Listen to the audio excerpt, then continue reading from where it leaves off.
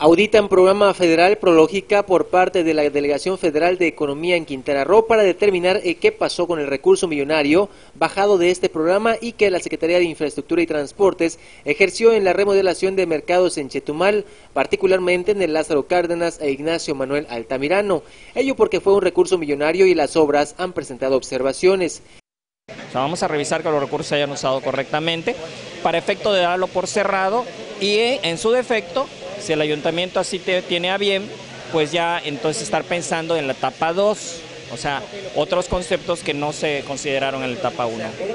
Mm, es una revisión ciertamente, mm, podríamos decir que es una auditoría, es una revisión que tenemos que ver que los conceptos que se plantearon en el proyecto original pues fueron efectivamente utilizados. El delegado de Economía en el Estado, Julio Aranda Manzanero, agregó que se hará un levantamiento físico y se dará un reporte al área jurídica de la instancia federal en México. Señaló que a raíz de estas observaciones el programa no se ha cerrado y no se puede empezar una segunda etapa de remodelación si no se ha concluido esta primera.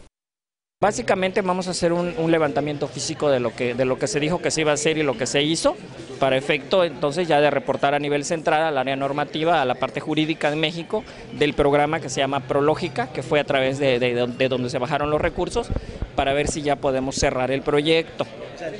Estos mercados, una vez terminada la remodelación, presentan filtraciones y demás problemas que fue lo que derivó en esta revisión. Para Notivisión Canal 10, Juan Pablo Hernández.